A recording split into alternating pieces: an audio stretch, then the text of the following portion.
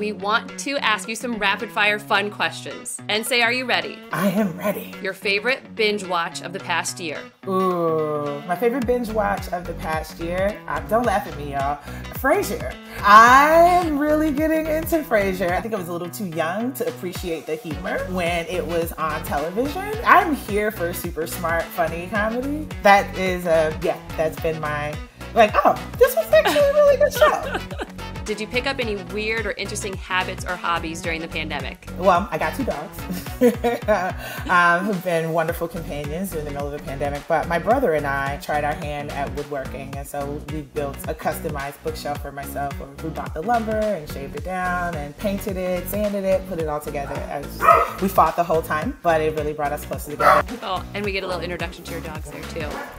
All right, it's Saturday night. What are you drinking? I'm a whiskey girl. I'm a whiskey and a bourbon girl. What's your favorite thing about Atlanta that no one talks about? I think food culture, international food culture, is huge here. You can get high quality cuisine from every corner of the globe here in Atlanta. If you were to run for president one day, what would your rally entrance song be?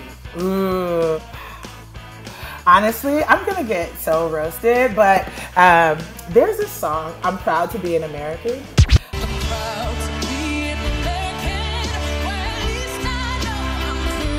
It gets me every time. It makes me so emotional. Oh my um, gosh, I've heard it a million times at the Air Force Academy. They played it at every event and every graduation. I know every word of it. Yes, me too.